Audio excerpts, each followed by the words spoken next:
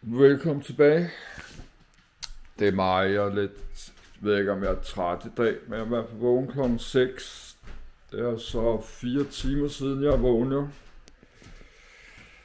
Det øh, lyder måske ikke så tidligt for jer, men for mig er det meget tidligt. Det bliver en meget lang dag. I stedet for at lave sådan en Netflix-video, så vil jeg lave sådan en John venter på bedre tider video. Så men det er jo så efter pinsen nu. Det er jo så tirsdag. Tirsdag, tirsdag. Kom igennem pinsen. Øh, jeg ikke sådan rigtig brugt nogen penge i pinsen, men jeg har heller ikke haft nogen rigtig at bruge af. Det er også sådan slut med at bruge penge for den måned nu, fordi jeg havde ikke sat mange penge tilbage i starten af måneden jo, og så fandt jeg ud af, at jeg kun har juli har jeg kun 300 kroner tilbage af det budget, jeg kender her. Det har jeg, fordi jeg simpelthen glemt, at øh, jeg har haft en, sådan en tekniker ud fra mit modem, der jeg blev nærmest truet til at skulle jeg havde mit gamle modem. Så fik jeg det her for over et år siden, det er bare stået der, det modem, jeg ikke orker at sætte det til selv, fordi jeg gider ikke at have de der problemer at det næsten med garanti, jeg vil miste min internetforbindelse, så skulle jeg alligevel ringe efter hjælp og sådan noget. Så kan jeg lige så godt uh, få en tekniker ud. Det koster så 1000 kroner. Kom der en ud og fik sat mit modem op og sådan noget. Så har jeg glemt, at jeg skulle betale. Det er så 1000 kroner plus mit bredbånd. Det er så 2000 jo. Så plus har jeg stadig boligopskrivninger. Jeg står stadig øh, 7-8 steder på bolig sådan nogle almindelige boligselskab. Der kommer fire, fire her til øh, juli, jeg skal betale, tror jeg. Der har været mange flere. For 15 år siden skrev jeg mig op øh, til 10 boligselskaber nærmest. Jeg skrev mig op til 10-15 boligselskaber samme måned. Et på en gang. Jeg har søgt på alle mulige steder der. Også Bornholm og Langeland, og også, tror jeg, så skrev mig op i Jylland eller andet sted der i Aarhus eller sådan noget. Så, så det var så bare lige øh, 3 4 5 3 4.000 kroner på et måned. Det blev simpelthen for mange penge, så jeg nødt til at slette 6-7 af dem en gang for mange år siden. Det er så nok før jeg flyttede hertil. Så jeg blev nødt til at slette mange af de der 6, 7 og 8 af min boligopskrivning, så jeg kan ikke have 15 jeg kan ikke have 20 boligopskrivninger om året, så skal jeg betale 10.000, så jeg har altså brugt rigtig mange penge på mange af de der boligopskrivninger, så brugte jeg 50.000 kroner eller sådan noget. Men der er jo en form for en boligforsikring. Det er jo min eneste mulighed for at få en bolig, når jeg ikke har mange millioner til at købe mig et hus eller lejlighed. Så min eneste mulighed for at få en bolig, det er jo at skrive mig op på ventelister. Skrive mig op på ventelister til sådan nogle anmeldte boliger og alle mulige steder. Man kan ikke skrive mig op 30 steder eller sådan noget. Så, men jeg er så kommet igennem øh, pinsen her, den 7. Og det er formiddag, der er klokken snart 12 meter, så der er ikke sådan så lang tid til fredag. På fredag kan jeg se, øh, hvad der kommer i min YouTube-penge. Skulle gerne, hvis der kommer lidt over 2.000 kroner, kunne det være super godt. Jeg tror, der kommer omkring der. Der kom øh, 3, lidt over 3, cirka 2300 sidst.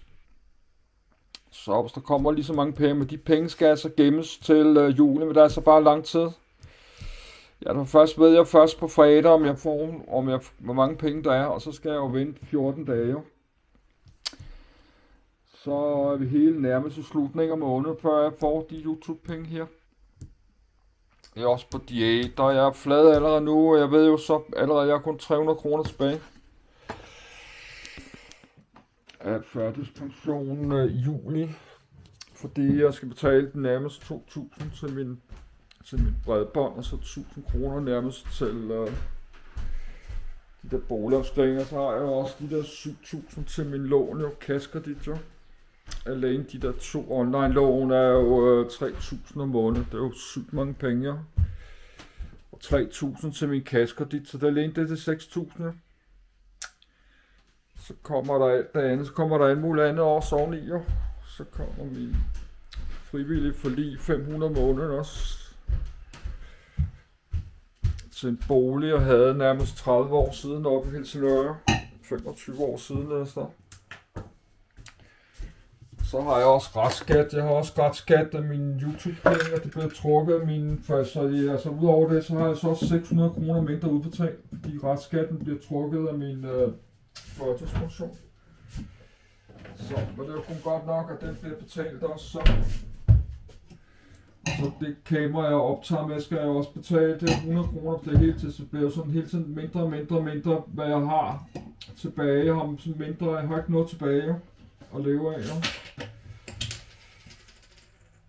Til sidst jo, så min økonomi, mit liv blev jo kvalt mere og mere. Sådan har det været i mange år.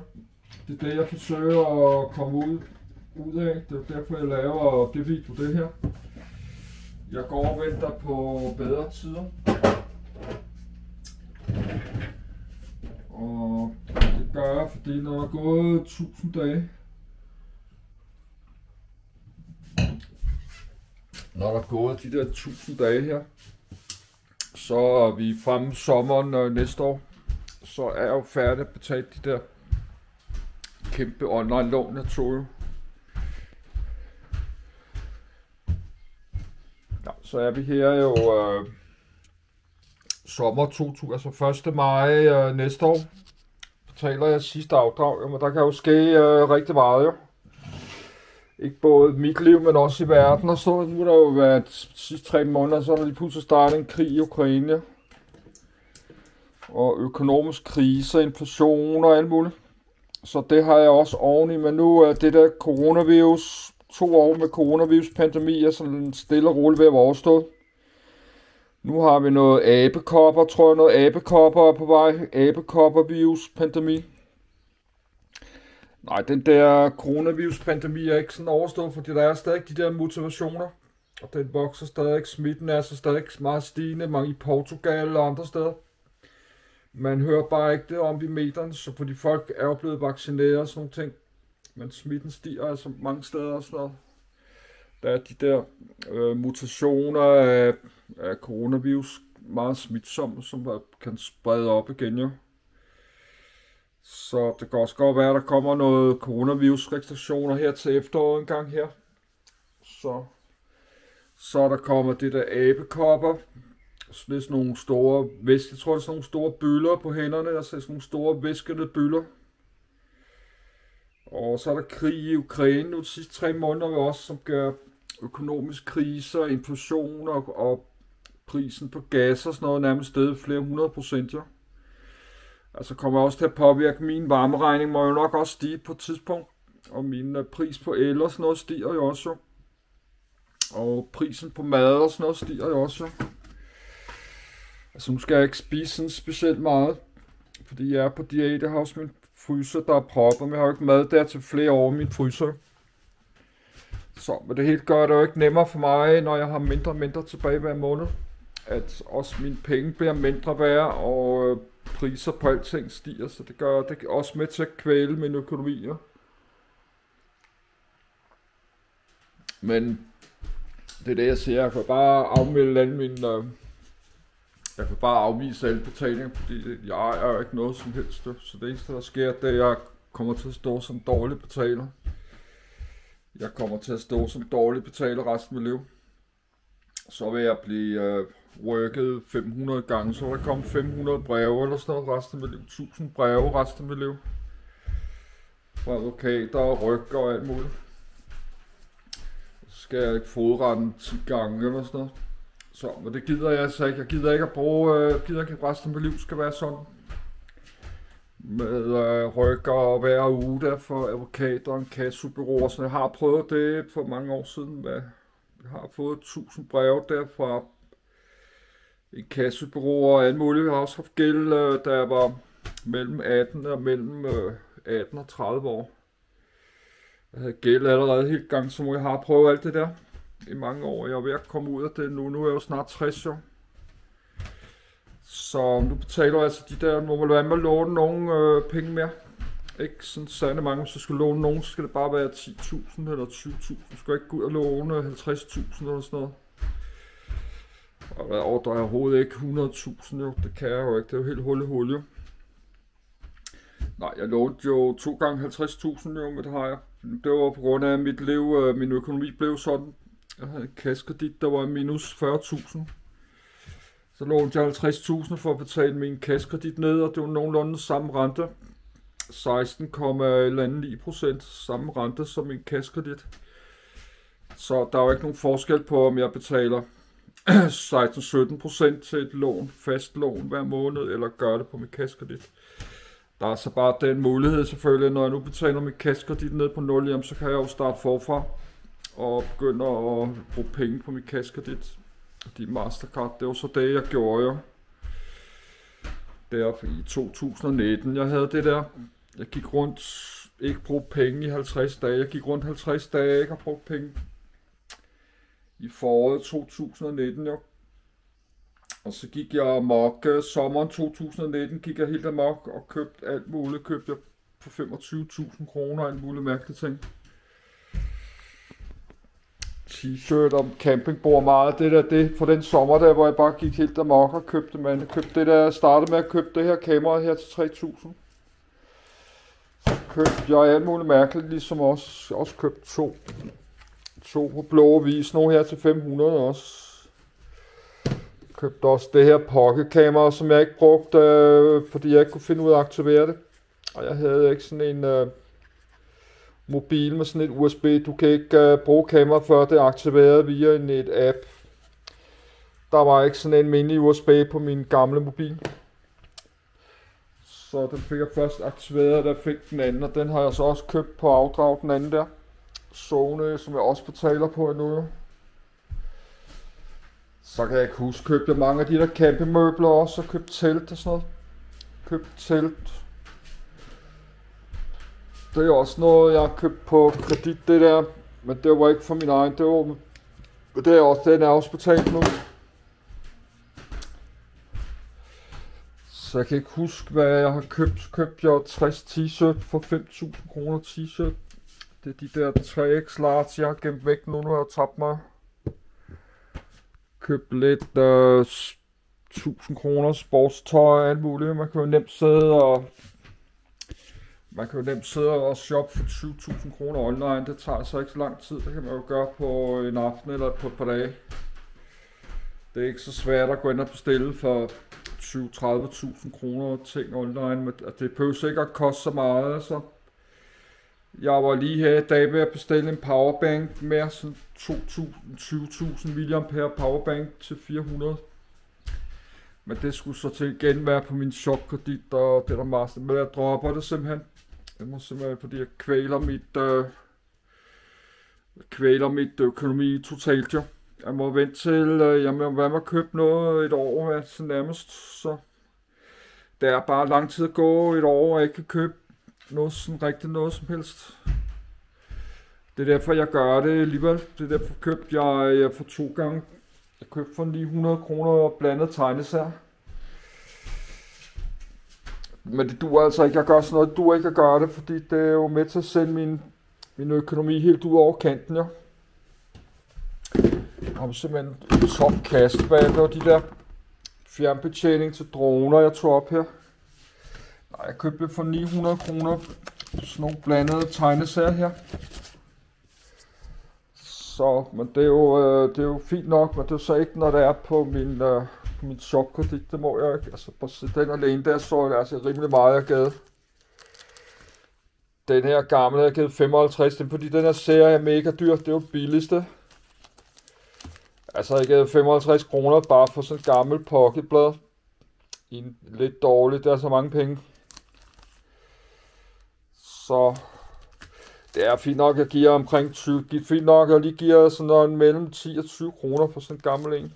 Som sådan en der, det er fint nok 16 kroner. Den der har jeg givet 8 kroner for, sådan en her. Og 14 kroner. Den er så tyk, der er så mange sider i den her. Det er sådan en tyk en her. Så jeg tænker mig at læse øh, den her, jeg kunne læse den her i dag her.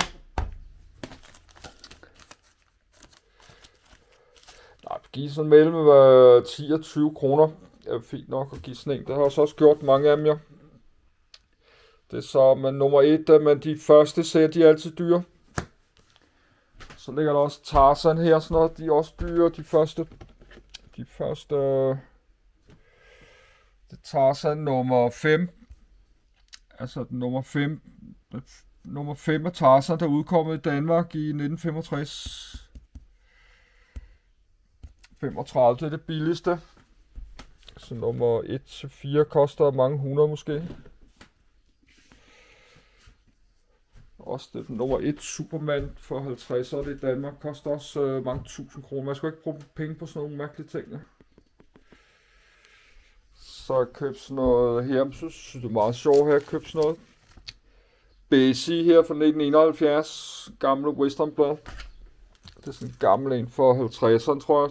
Er 1956 en gammel cowboyblad.